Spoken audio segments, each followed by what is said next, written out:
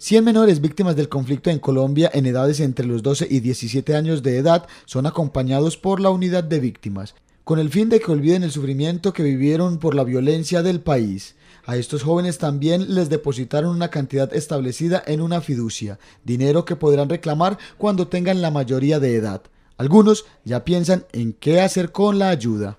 Pues con ese dinero pienso ahorrarlo para más adelante poder estudiar o poner un negocio. O comprar casa, un carro. Los menores no solo son remunerados económicamente, también reciben ayuda psicológica en estas jornadas. Con ellos hacemos unas actividades psicosociales.